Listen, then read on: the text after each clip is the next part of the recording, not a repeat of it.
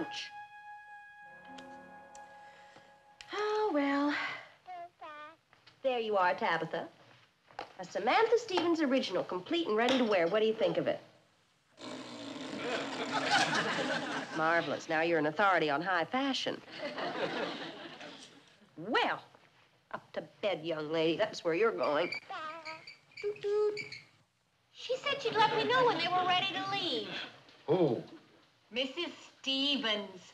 She asked me to babysit for them. She did? Well, I offered to sit. At first, she didn't want to take advantage of me, but I insisted. I thought it was the only neighborly thing to do. You mean the Snoopy thing to do? Is she supposed to send up a smoke signal when she wants you? of course not. She'll telephone. And you can't hear the phone ring unless you're standing at that window with your spyglass.